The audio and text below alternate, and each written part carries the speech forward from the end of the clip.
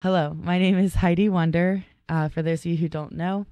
And um, I'm just excited to be here at Jesus Lord Ministries today. I'm thankful for Pastor Yeager and his family um, that makes all this possible, all the behind the scenes work that goes behind in um, getting these messages out every week. And um, of course, we're super grateful for Jesus Christ and um, all that he's done in our lives and going to continue to do. Um, the topic for today is Are you satisfied or are you sanctified? And so um, let's go ahead and open with prayer. Dear Heavenly Father, we praise you and we thank you for this day. God, I thank you for getting me and my children here safely this morning. Uh, thank you for the opportunity to stand behind this pulpit, Father God, and preach your words, preach your gospel, share the good news of Jesus Christ, Lord. Thank you for the conviction that you're going to bring from the Holy Spirit today to each and every single one of us, including myself, a deeper conviction, a closer, more intimate walk with you. Lord, I pray that you would bless Kelly for watching my kids so that I can be here to speak today. God, I just thank you for all that you're doing in our lives, all that you're going to continue to do in us and through us. Just continue to raise up more laborers, Father God, for your kingdom, Lord, because the the fields are ready, Lord, but we need more people to rise up to start sharing the gospel, to share the good news. I pray that your people would become uploaded with a boldness that they've never experienced before, Father God, that we wouldn't walk in fear and timidness, Father God, but we would walk in boldness like lions, but harmless as doves, as your words say. Lord, we love you. We praise you. Anoint my lips. I pray that everything that is spoken today is you through me. Not one part of me, but all of you through me, that you get all the glory and that you get all the praise. Lord, we love you. We praise you. We thank you for this day. In your name we pray. Amen. Okay. I'm going to try not to keep messing with my hair. My daughter did it this morning and it keeps falling in my face. Okay. All right. So um, I would like to start today. Again, the title is Are You Satisfied or Are You Sanctified? And I would like to start in um, John 14 15. It's a really short and sweet verse. John 14 15. It says, if you love me, keep my commandments. If you love me, keep my commandments. And when I read this scripture, as Holy Spirit brought it to my attention, I was thinking, you know, how many of us as Christians, and I put that in quotation marks because I feel like that term is used so loosely, um, is that we say that we love him, but what part of our lives are reflecting our love for him? And and I know I've touched on this before, but I just the Holy Spirit just really brought this to an urgency. You know, there's a lot of believers right now that are saved and satisfied. They're saved and satisfied. They have their I joke and call it the golden ticket to heaven, you know, they're they prayed that prayer when they were six years old, however many years ago that was, and they just went to church ever since. And and there's no real fruit. There's no real sanctification and transformation in their lives. Nothing has changed or or maybe you know, maybe you just prayed that prayer 10 years ago or something in your adult life, but there's nothing in your walk that changed. You just you just prayed a prayer. You just prayed a prayer that someone told you to pray and they said, okay, now you're a Christian. But there was no discipleship. There was no follow up. You don't even know what that actually means to live a sanctified life. Justification is when we first come to Christ and he ju- we get saved and he justifies us. But then the sanctification process is on us to walk through the fire to become closer to the Lord, to have Him burn away the things of us that are of the world, to remove from us our pride, our lusts, um, our our um, sins that we just stay stuck in. He wants to heal us and deliver us from all those things. But again, we're saying we're saying that we love him We're saying that we're in love with Him, yet nobody knows around us in our lives that we even go to church. Or maybe, worse yet, you're like I was and went to church and was still partying during the week and living however I wanted during the week, but going to church Sunday morning. I was literally, when the Lord gave me this um, message, I literally began to weep and I was texting some sisters and I said, Man, I said, I'm just so broken over how many people I may have turned away from God because I was saying I was a Christian and I was living just like them, if not worse. And I began to pray and ask God and repent and say, God, please forgive me for anyone in those lost years of my life that I was claiming to know you and love you, and there was no love for you in my body. I knew of him. I knew of him but I didn't know him. And so I asked the Lord to forgive me for how many people, whoever, the ones that I don't even know about, that I've turned away, put a sour taste in their mouth for Christians in church because of the lifestyle that I was living, the lukewarm lifestyle. That in the kingdom of God, lukewarmness doesn't exist. It's something us believers brought up that, well, I'm just lukewarm. I'm not like all the way turned against God. We'll open up the word of God and see what God actually says about that. It scared the dickens out of me. He says he would rather we never knew him than to be lukewarm. And if we are lukewarm when he returns, he's going to spit us out of his mouth. That's what his word says, his convicting words. So, this lukewarm Christianity that's floating around today and people walking in sin and walking in church, you need to get right with God. I'm telling you this because I love you. I'm telling you this because Christ brought this revelation to me and he loves you so much. He doesn't want you to be caught literally with your pants down when he comes back. I was going to church Sunday mornings and fornicating during the week, no one is going to tell me that I was going to enter the kingdom of heaven.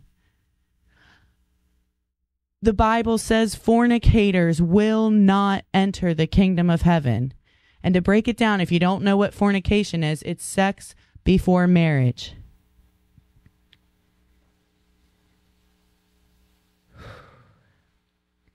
we need to start being a people that no longer looks like the world but looks different from the world. We're saying why don't the world want to why don't the world want to go to heaven? Why don't they want to believe in Jesus? Well, we're doing the same thing they are.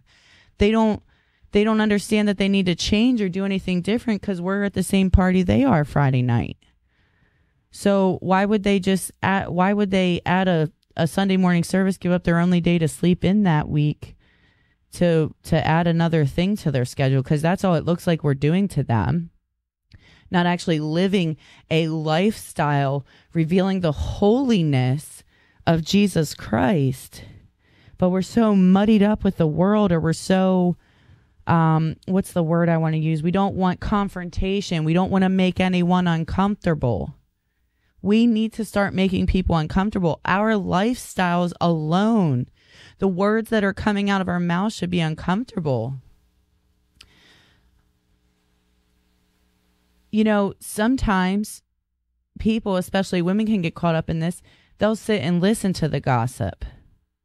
And they're saying, well, you know, I, I didn't say anything. I didn't participate. I just sat there. That is participation. If you are willing to sit in that circle with women and hear them gossip about other people, let me share something with you that my mother shared with me at a young age, and it stood true to my 36 years, almost 36 years of life. If you are sitting with a woman and all she does every time you're with her is talk about other women, the second you walk away and you're not in that circle, what makes you think you're so special that you're not the next topic? do not participate in gossip. If someone's gossiping, you say, you know what? Hey, ladies, I love you, but I can't sit in this conversation because we're talking about Sally and Sally's not even here to explain what's actually going on. And this includes some you say, well, oh, I don't gossip. But if you're sitting there going, oh, did you notice that, um, you know, Sally and Jim Bob, I don't know, I'm coming up with crazy names, so I don't make pick anyone that's in our church. I'm just making something up. But like Sally and Jim Bob, did you see how they had a chair sitting between them today? They weren't sitting next to you. I wonder what's going on. I wonder if they're having marriage problems. That is gossip. And then the church wants to sit there and try to cover it up and say, oh no, we're just concerned about them and we want to pray for them. Well, then don't be sitting there creating a scenario that you don't even know if it's true or not. If you truly cared and if you truly want to pray for them, say, hey, let's pray for Sally and Jim Bob. I just feel they're on my heart today. Let's pray. Let's lift them up. Or go right to Sally and Jim Bob if the Holy Spirit leads you and say, hey, can I pray with you guys? and you know let them say yes or no. You know or you can say i've shared this before or you can say hey maybe sally did share with you that she's having marriage problems. You don't go to the ladies group and say hey everyone let's pray for sally. They're having marriage problems. No she came to you with that information. You need to keep that information to yourself and say hey ladies i know a couple that is struggling and fighting for their marriage. Let's get on our knees and fight for them, battle for them, that the Lord would heal and restore their marriage. Minus the names. God knows. God knows the details. So we need to stop doing this um, like a Christianese form of gossiping and and saying, "Oh, it's because we're caring and we're concerned." No, you need to either have the people involved in the conversation or leave their names out of it, but still pray. Hear my heart. Still pray for them. Get other believers praying. Um again, back to ha- the word of God says, if you love me, if you love someone. Okay, how many people love their favorite sports team? Or, you know, maybe you don't want to put the word love with it, but if you love something or someone, you talk about it the majority of the time. Think about people who love pets. A lot of their conversation is about pets. There ain't no sin in that. There's nothing wrong with that. But do you talk more about your pets than Jesus? When your name comes to someone's mind, do pets come to their mind? Or does Jesus come to their mind? I feel the Lord is calling us to come to an even deeper walk where I know a lot of times I'm talking about fornicating and partying and all that. And maybe you're like, Heidi, I can't relate to that. Okay, let's get down to the nitty gritty. God wants us spotless with, without, without spot or wrinkle. So that's including the side Christianese gossiping. That's including glorifying or lifting anything up, anything we put before Him is a sin. It's a God, it's an idol. His word says, If you love me, you will obey my commands. If you love someone, you're constantly talking about them. People love their pets, they love their animals, they love their sports, they love their kids, they love their grandkids, they love their spouse, their person they're dating, their job, their car, their clothes. You could literally look at a person's social media, and regardless of what's coming out of their mouth, you can find out what's most important to them or the things that mean the most to them. And maybe some of you are feeling like Heidi, you know, right now you're just taking it too far. I, you know what? I think Jesus dying on the cross was pretty extreme. I don't think I'm taking it too far for a man who sacrificed his life to give us the opportunity to go to heaven.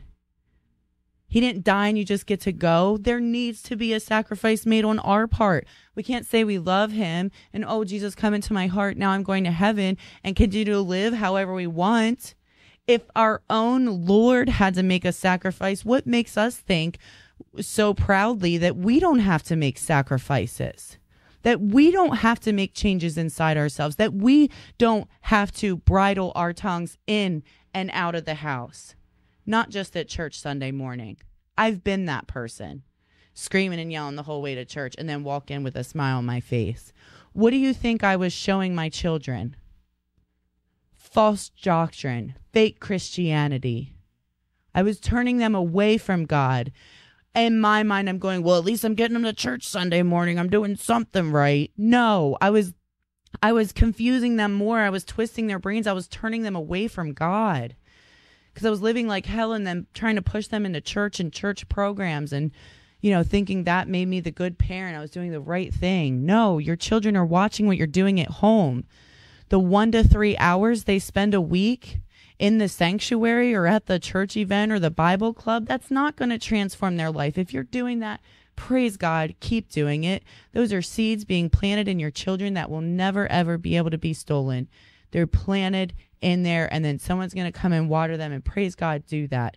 But don't think for one second that that is going to lead your family to Christ. It is the actions that you are living in your home in the day to day. That is what is going to lead them to Christ. And if you don't want to take on that responsibility, then be clear. Maybe today you're saying, you know what, Heidi, that that's just too much. Then stop walking around and calling yourself a Christian. I don't know if that sounds too harsh. It just came out of my mouth and I tell Holy Spirit to take over. So he's saying if we aren't going to live by the commandments, if we aren't going to illuminate Jesus Christ, then stop wearing the badge everywhere you go just take the badge off and continue to live how you want. But we have to at least, for the sake of souls, stop shaming the name of Jesus Christ. Stop turning people away from the church because of how we're living. We, me included, all of us, we all have areas we can improve. We all have anger or bad attitudes we need to get under control. We all have you know, anxious thoughts or whatever. We all have something. We all have some sin in our life that we struggle with. Don't sit here and focus on the things I'm labeling. Do self inventory. What in my life? Lord, Holy Spirit, reveal to me what is it in my life that that would deter people from you. Holy Spirit, show us. Reveal to us. Cleanse us.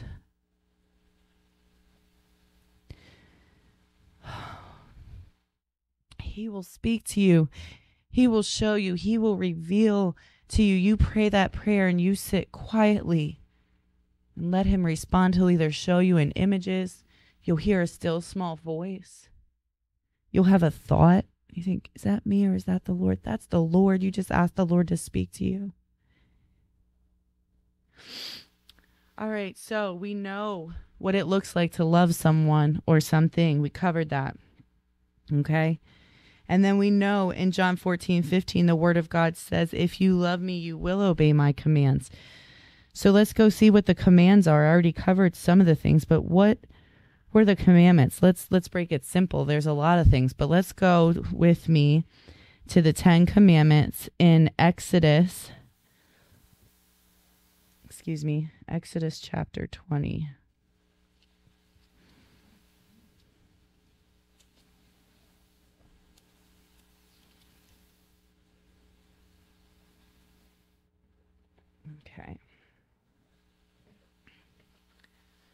Bear with me. I'm going to be going back and forth between my notes in my phone and my Bible. Okay, so the first commandment in Exodus chapter 20, verse 3 says, Thou shalt have no other gods before me okay, maybe you're saying, you know what, Heidi? Oh, I don't have any other gods before me. God, I don't believe in Muhammad or whatever. I can't even think of anything else right now, but Buddha. I don't believe in that. I don't have any other gods before him. He's the only God. Okay. How many hours a day are you spending on social media? That one convicts me. How many hours a day are you spending binging television? You say, well, Heidi, I'm only watching the Andy Griffith show. There ain't no sin in that. No. You're right. There ain't no sin in that. And you know what? When I'm on social media, I'm posting scriptures, I'm sharing things about Jesus. Okay, okay. Praise God. I'm not saying they're sins. But the word of God says, Thou shalt have no other gods before me. Anything. Again, we already covered this. Anything we're putting before him is a God. We read that scripture and think, oh, it's like a little God or something. No, anything, anything we're putting before him is a God. We all need to cry out to the Lord and ask for forgiveness and repent. And start putting Him first. He should be the one that we spend the most time with in a day. And maybe you're saying, Heidi, I work 60 plus hours a week. Where where do I have time? Do it while you're driving. Do it while you're on the toilet. Do it while you're in the shower. Do it while you're cooking. You you put God in all day long. I understand some of us don't have the lifestyles where we can go sit in a prayer closet for two hours. Jesus, get me to that place because that sounds phenomenal. I would love to be able to do that every single day, longer even. I would love to sit in his presence all day long. That's not a reality for me right now. There are other things that I have to take care of. But I'm not putting things before me. I'm praying while I'm working. I'm praying while I'm bathing my children. We're playing worship while we're cleaning the home. We're incorporating the Holy Spirit and a lifestyle of Christ in everything that we do. Not Wednesday night and Sunday morning, all day, every day. Eat, sleep, breathe, drink Jesus. Then people will know you love Jesus. Then guess what happens? The even better part. Don't be condemned by these commandments we're about to go over, because here's the greatest part. And my sister in Christ, Brittany, texts me too. It's so good when you actually fall in love with the Lord, like fully, not the knowing of that I used to think I loved him, but the knowing him, that love, you want to obey these commands. I used to have to fight off lust. Now, lustful thoughts don't even enter my mind. And I do not say that with pride. I do not say, Look what Heidi Wonder did. I am telling you, look what Holy Spirit did. I used to pray, God, please help me. I don't want to think this way anymore. I don't want to do these things anymore. But I invited the Holy Spirit to come in and reconstruct my brain, reconstruct my thoughts, read the Word of God to cleanse my mind, renew my mind, and boom, they're gone. They're gone. Those things, they aren't even desires of mine. They aren't even thoughts of mine because I think thoughts of the Lord. I think when I walk in the grocery store, who in here needs prayer? Who in here needs healed? Who in here needs salvation? We're constantly looking with the eyes of Christ, constantly thinking with the mind of Christ. That doesn't happen through a little prayer you prayed. That happens not even through the justification process. That happens through the sanctification process. You can literally get saved. And what I mean by saved and satisfied is you get saved, and that's the last thing you do for the rest of your life. Sanctification is the changing of a lifestyle. Sanctification is a Holy Spirit convict me, reveal to me. You know, the cool thing about Christ is we can forever be growing in Him until He comes back. We can forever be coming more like Him until He comes back. You know, there's layers. I was just talking about this with my sister Christ on the other day. There's layers to healing. There's layers to the sanctification process. Yeah, I don't have lustful thoughts anymore. Yeah, I'm not tempted to go out partying anymore. I don't even think those things. I don't even have those desires. Hallelujah, Jesus. He set me free and delivered me from all that. But you know what? I'm still praying, Lord, help me be at peace in whatever state I'm in and content. The Lord has me in James right now to be content in whatever state I'm in. That means I don't fear, I don't get riled up, I don't lose my temper. I'm content, regardless if the kids are acting, I'm fighting. I'm content. I'm at peace. Regardless if I don't have money for the next bill coming in, I'm content. I'm at peace. Regardless if someone comes and tries to attack you, I'm content. I'm at peace. I am so excited that Christ is taking me to and through this sanctification process of contentment, of contentment to be content in whatever state I'm in. That's what the Word of God says. So be encouraged. Don't say, oh, you know what? Yeah, I broke off all that stuff. I'm living for God. I'm good to go. Nope. There's still some thoughts that you may be having that you shouldn't. Maybe you lose your temper. You know, maybe your language needs change, maybe your thoughts needs change. Ask the Holy Spirit if you think you're good, you're not. We all have an area we can work on. Sorry, let's back up. Exodus chapter 20, verse 4 says, Thou shalt not make unto thee any graven image. I'm not going to stay here long because we already covered this. Anything you worship more than God is a graven image cars, clothes, sports, jobs, um, family members, pets. These are dangerous because they're things that we worship and they can go away. Christ never goes away. That's why it's best for us to only worship him and nothing else. I'm not saying it's a sin to like your car or it's a sin to like your clothes. That's not what I'm saying. But when it consumes you more than Jesus Christ, that's where the sin comes in. That's when it becomes a graven image.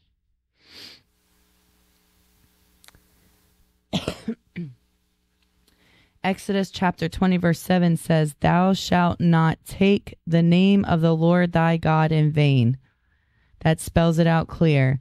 This can mean using God's name like a swear word, or it can mean saying you are a Christian but not living or acting like Jesus would want you to act. We're taking his name in vain, not just verbally, right? Some people take it in vain verbally, but I like how the Lord revealed to me it's doing it when we're wearing that Christian badge that I was talking about it's doing it when our Facebook profile says we go to this church and graduated from this Christian school and we're in this church club. And then our whole feed is all about partying. That is using the Lord's name in vain. Our lifestyles, through our lifestyles, not just through our words. Exodus 20, um,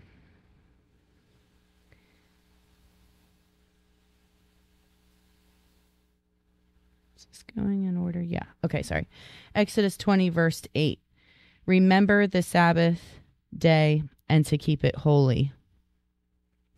This is a whole nother, I could do a whole um, study on the Sabbath. I have learned as I've studied through the Sabbath um, that rest is so important to the Lord. When you think about, when you read the Bible, it always says, and Jesus went away to pray, or Jesus went up onto the mountain to pray. Like, as he was ministering, as he was going along, doing what the Lord called him to do, there was rest in in the service. He was he was resting in between. He was resting as he was going. So you don't necessarily have to idolize a day for that is what I'm saying, but just to make sure that you are setting aside a time to be at rest in the Lord to focus on him where you're shutting out all the other distractions. You know, shutting out all the technology, shutting just, you know, go outside and and be in his presence and resting in him all throughout our day. The fifth commandment is honor thy father and thy mother. Exodus 20 12 it's important to show our parents respect. This may look different for everyone. Obviously you know if you're 10 years old honoring your father and mother looks different if you're 36 years old um, but honor thy father and mother show respect to them this scripture doesn't say honor thy father and mother if they honor you. It doesn't say that. It says, honor thy father and mother. The sixth commandment is, thou shalt not kill. And that's Exodus chapter 20, verse 13. The sixth commandment, thou shalt not kill. Well, I'm sure there's a lot of you saying, Heidi, I've never killed anyone in my life. Have you done it in your heart, though? Have you done it in your mind? Have you hated someone so intensely? Maybe they hurt you. Maybe they molested you. Maybe they raped you. Maybe they abused you. Maybe they terrorize you. I don't know what your situation is. But is there anyone in your heart that you thought, man, my life would be better off if they were gone? If you've had that thought, if you've made that statement, you have committed murder. It's the same thing. The intent of the heart is the same as the actions. And so you need to repent. You need to ask God, please forgive me. Please forgive me for that thought I had, Lord. Because if not for the grace of God, there go I. If we think about it, we all deserve death for our sin. But we put levels on it. We say, well, this person did this, and that's way worse. No, forgiveness is for everyone. There's no sin too great or too small that God cannot forgive. The seventh commandment says, Thou shalt not commit adultery. That's Exodus 20, verse 14. Men and women make promises to each other when they are married. These promises are important, and breaking them causes deep sadness. It brings destruction to the home. It brings it brings despair to families when lust is committed. Sorry, I'm trying to find this part in my notes here. Okay. All right, I don't have it, so I will do it off the cuff. So basically, same thing with murder. Thou shalt not commit adultery. If you commit it in your heart, it's as if it was already so. Oh, thank you, Holy Spirit. There it is. Matthew, jump with me quick to Matthew 5 27 verses 28. Thank you, Lord. Thank you, Jesus. All right. Matthew chapter 5, verses 27 through 28 says, Ye have heard that it was said by them of old time, Thou shalt not commit adultery. But I say unto you that whosoever looketh on a woman to lust after her hath committed adultery with her already in his heart. So maybe you're standing here with your badge again. Heidi, I never committed adultery. I never cheated on my wife. I never cheated on my husband. I never. You never had a lustful thought of another person. You never looked at another man or woman with lust. If you haven't, praise God. Hallelujah, Jesus. But if you have, repent because the commandments, the Ten Commandments says, you shall not commit adultery. And Matthew tells us, in the book of Matthew, it tells us that if you did it in your heart, if you lusted in your heart, it's already been done. Repent. Jesus Christ is calling the church to repent. We're walking around in active sin, calling ourselves Christians, turning people away from Christ. We no longer just need to reach the lost. We need to reach the body of Christ to come back to a lifestyle of holiness. Christ is coming back for a spotless bride. I know I've already said this, but it's just so burdened on my heart because there's going to be so many people that think they're going to heaven and they're not. And Christ wants everyone to go to heaven. That's what his word says. I can't think of the reference right now, but it says it is the Father's will that none should perish. He doesn't want anyone, not even the Marilyn Mansons or whoever the you know somebody really wicked that you can think about. He don't want none of them to perish. He wants them all to have salvation and spend eternity in heaven with him. But Jesus Christ ascended into heaven and sent his Holy Spirit to live in us so that we could reach more for the gospel, so that we could reach more for the kingdom. Jesus could only be in one town at one time. And then he got his 12 disciples and they got a little bit further.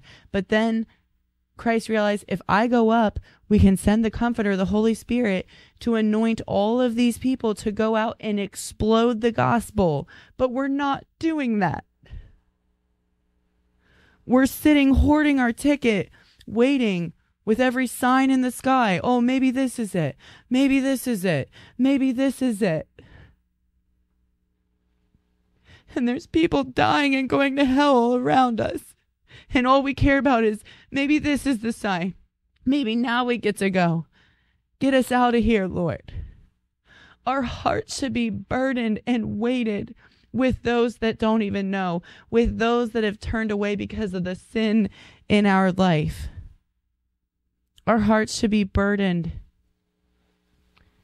with those that don't want to know Him because of the sin in our lives.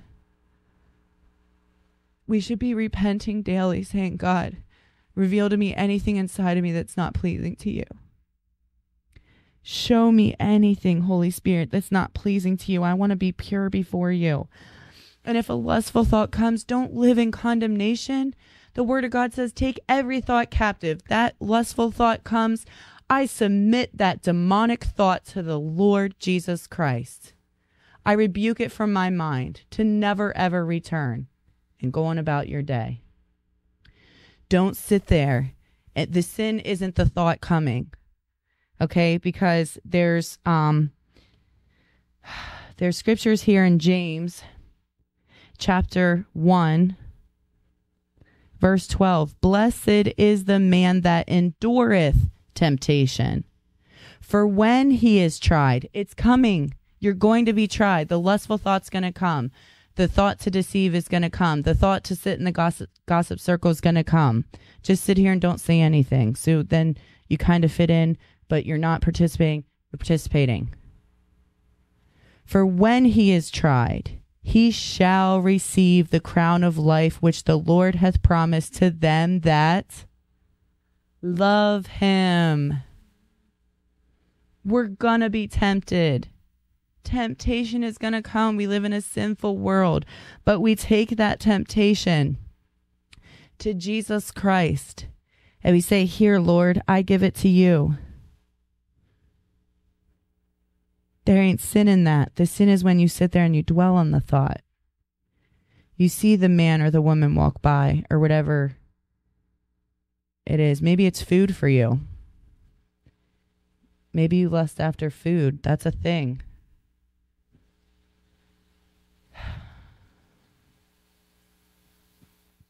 I've done it. I've I've I've put my stomach before the Lord multiple times for years and he convicted me of that and transformed me of that. I was putting food. I was making food an idol.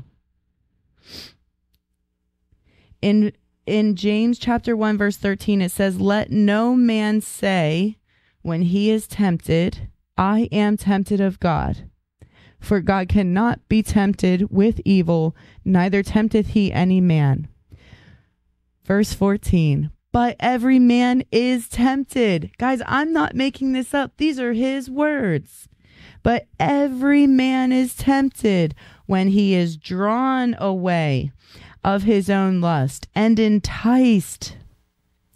Then, when lust hath conceived, it bringeth forth sin, and sin, when it is finished, bringeth forth death. I can't believe I'm going to be this transparent, but Holy Spirit is taking me there. When I was trying so hard to get set free years ago from masturbation, you're in your room, the enemy plants the seed it's your choice to stay there and entertain the thought. It's your choice to stay there and make the very next move. It's when the thought came, I knew it was coming. I could see the enemies coming. He's coming to tempt me. You know what I would do? Jump up and run out of my bedroom. Jump up and run out of my bedroom. I'd go do dishes. I'd go um, play with my kids. I'd go mow the grass. I'd go be around people. Oh, sorry. I would remove myself from the lust that the enemy was trying to tempt me into to try to entice me to pull me away. And there were times that I would fail and I'd feel so broken and dirty and filthy. It brought death. I wanted to die when I gave in to that temptation. I felt sick. I couldn't stand myself. And so when I realized I no longer wanted to feel like that, but I wanted to feel the peace, joy, love, life, freedom of Christ. I ran from sin. Do you guys see what changed? I actually love him now. I really, really love Jesus Christ now.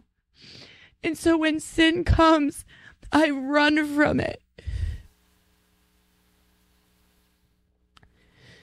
Someone, uh, someone recently had said something to me. They're like, you know, um, there's an, an event coming up. I'm going to be vague because I don't want people's names involved. There's an event coming up, and they're like, oh, Heidi, you know, um, you could save money if you bunked up with so and so. And I said, you know, I know that's true. That is true. If, you know, um, but this is an old girlfriend from my past that we did things that we, myself included, did things that weren't pleasing to the Lord. And I said, you know what? my soul is worth more than $75 on a hotel room.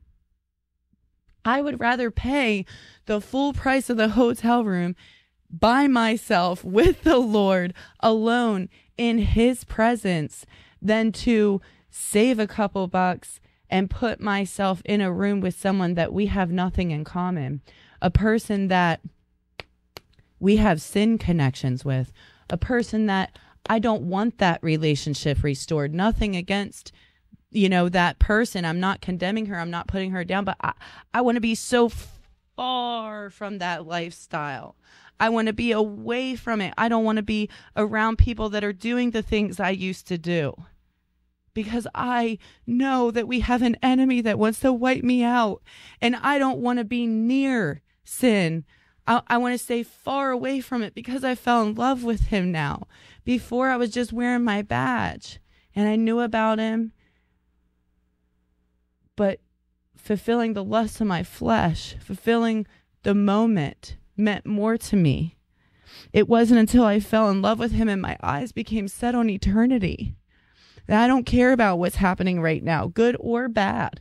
And when I say I don't care, it's the contentment that James is talking about.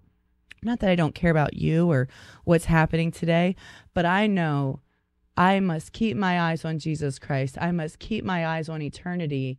And whatever's happening here right now isn't affecting, I can't have anything here right now affecting or separating me from eternity because I love him. I want to please him. I don't want to disappoint him. So, no, you will be tempted. And when lust is con- conceived, and like I said, you go on with the thought, that's where the sin is. That's what brings death. But if the thought comes, don't live in condemnation. I rebuke that in Jesus' name. Thank you, Father God. And then run out wherever you're at, run out, be with someone, do something, change your thought process. Run. The word of God says, flee from sin. Okay, so back to Exodus. I'm wrapping up. I think we were on. Uh, see what. Okay, yeah, that was seven. So thou shalt not commit adultery. Okay, um, eight, thou shalt not steal. Exodus 20, verse 15 says, Thou shalt not steal. Don't steal. I don't think I need to spend a whole lot of time on there. That's self explanatory. Don't take something that's not yours. If you see free pens sitting out, don't grab 10 and say, Well, they're free. That's not what people mean by that. When you see a free bag of pens or pins or flyers, like take you know, um, you know, or flyers or something like that. Like Pastor Yeager puts out a lot of um, tracks, gospel tracks for us to hand out during the week to people. He has um, printed flyers for the services and the times that we have them here, you know, and they're for people to take and hand out. But you don't just grab a whole stack of them because they're free and they're there.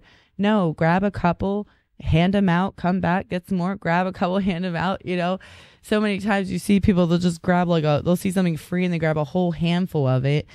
You know, um, be mindful of that. Thou shalt not steal. Okay, then the ninth commandment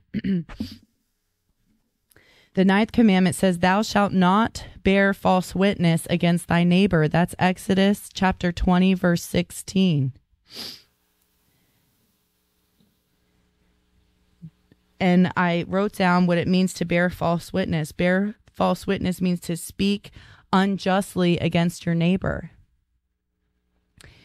talking about them, trying to ruin their reputation, lying about them, saying things that aren't true. Again, back to that speculating. You're speculating and, oh, maybe this is happening or, you know, going on and on and and destroying that person's reputation and maybe Wouldn't that be funny? Nothing's wrong with Sally and Jim Bob. It's just she's really feeling under the weather and was trying to leave room or or maybe she's having a hot flash and needs some space. We don't know what the purpose. Maybe they have the Bible sitting in the middle and they're sharing, reading the same Bible, but we done made up a whole thing. That's bearing false witness against our neighbor. It's against the commandments. And remember, let's trail back. If we love him, we keep his commands. These things should not be counted against us. The tenth and final commandment is, Thou shalt not covet. Exodus chapter 20, verse 17. Covet means to be so jealous of something someone else has that you want it desperately. Coveting will make a person miserable and keeps them from putting God first. Don't covet. Don't be jealous of something someone has. Maybe you're living in an apartment and renting and you see someone with a, with a home and you think if I could just have a home. But what you don't realize is the person that has a home, their mortgage is twice as much financially as your rent. What you don't realize is now they have to have homeowners insurance and they have to keep up with the lawn and they have to keep up with the house. And if something breaks down, you no longer just call the landlord. You're the landlord. It's on you. You got to replace the oven. You got to replace that. So there's pros and cons to wherever you're at in life. I've lived on both sides. There are pro, you know, I'm a homeowner now and praise God for that. I know God gave me that home. But, you know, when I'm out weeding and and I look, I'm like, "Oh, I got to do the power wash and my bushes need trimmed and I just look around, there's so much that needs done on my house just on the outside. Then we go to the inside, you know it's a lot and I'm not complaining by any means, but when I was renting, I just called the landlord. The landlord had someone mow the grass, the landlord had someone shovel the sidewalk. If there were, you know, ants in the house, I called the landlord. He sent the exterminator. I have to do all those things now. So there's there's pros and cons to all sides. You shouldn't covet someone who is married. I used to think, "Oh, if I could just be married." You know what? I've been married and I've been single. There's pros and cons to both. You shouldn't covet that. Christ should be first. I no longer covet marriages. I just want to be with the Lord and I want to work on making me be the best godly mother I can be to my children and the best godly daughter I can be to my parents and the best godly wife I can become for future husband whenever the Lord sees fit but I'm not out here with binoculars trying to find someone. All that did was bring more pain and misery in my life. He gives us these commandments not to squash us down, but to lift us up. They're there to protect us. When you tell your kid not to play in the street, is it because you don't love them and you're trying to make their life miserable? No. It's because we tell them to not play in the street because we don't want them to get hit by a car and die. That's why the Lord Jesus Christ, He loves us so much. He puts these rules and commandments in our lives so we have guidelines to follow because He knows the heaviness that sin brings. He knows the death and destruction that the sin and the lust, when it's full birth, He knows what it brings and He's trying to protect us from that. He's saying, don't see how close you can get to the fire without burning your hand Run as far away from the fire as you can so that you never get burned. Don't try to see how close you can get without getting burned. I have scars all over me from seeing how close I could get without getting burned. Don't let that be you. God has removed so many things from my life and I things I thought I used to not be able to live without and now I'm living better without them allow him to come in, cleanse, renew. And when I say allow him to come in, you have to make the sacrifice. You have to make the work. You have to say, you know what? I only read my Bible for 10 minutes today, but it's seven o'clock at night and I only read my Bible 10 minutes, but I've watched two hours of television. I'm going to turn it off. I- I'm going to turn it off and I'm going to read about this man who's coming back because I want to know, I want to be ready. I want to learn more about this man that I love so much so I look more like him so that others can get saved through my lifestyle. Not my words, but my actions. Real quick, I'm wrapping up here. We'll jump back to James. James chapter 1, verse 22, it says, But be ye doers of the word and not hearers only, deceiving your own selves. For if any be a hearer, verse 23, for if any be a hearer of the word and not a doer, he is like unto a man beholding his natural face in a glass. God is saying we need to not only be hearers, but doers also. We need to not just be reading these things, but living these things so that others can come to know him. That's why Christ ascended to heaven to bring his Holy Spirit to anoint us to walk in this boldness, this faith, proclaiming this good news and getting people excited about it, explaining to them that it's through love. It's because He loves us. That's why we obey His commands. I'm not burdened. I'm set free now that I'm living in the commandments. Am I perfect? Not yet, but praise God, I'm striving to be. I'm striving to be perfect like Christ. Are you saved and satisfied this morning? Are you saved and content knowing that you're going to heaven?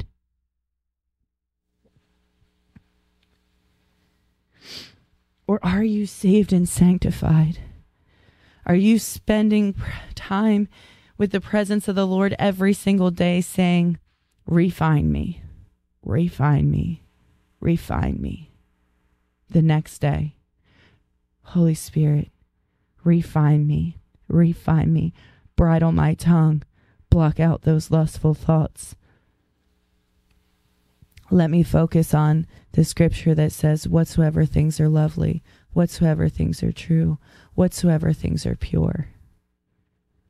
You know, I was thinking the other day and I told my daughter, I want to write those scriptures out and post them in our house. What a way to live. What a way to live if every single one of us would take that passage alone and live our life through that. That way, every thought that comes in is it pure? Is it lovely? Is it true? No. Don't have space for it here.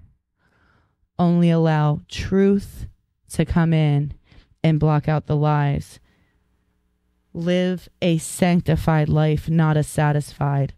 Allow Christ to come in and sanctify you. Cleanse yourself so that you actually look like the church and aren't just talking like the church.